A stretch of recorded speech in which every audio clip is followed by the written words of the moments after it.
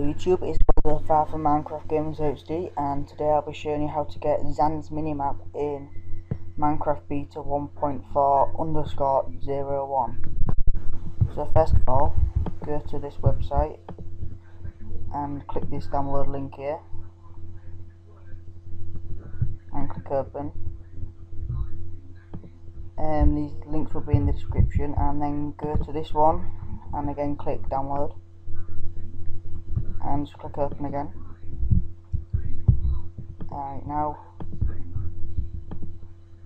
Go to this box and type in percentage at data percentage click enter dot minecraft bin and minecraft and open with WinRAR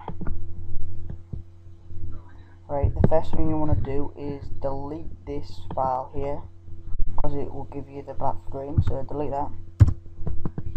And now you're ready to transfer your mods across so open up mod loader.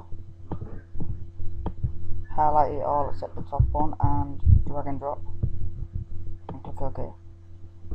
And then click on the cross. And again with Zan's minimap highlight all and then drag and drop and now you should have the mod installed so just open up your Minecraft.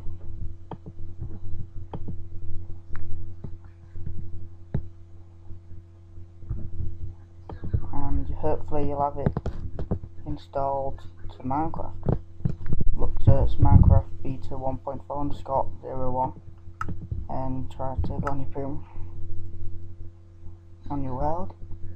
And as you can see we've got the new Zan's minimap in Minecraft Beta 1.4 so please rate, subscribe and comment and we'll bring more videos. Um, yes, so bye for now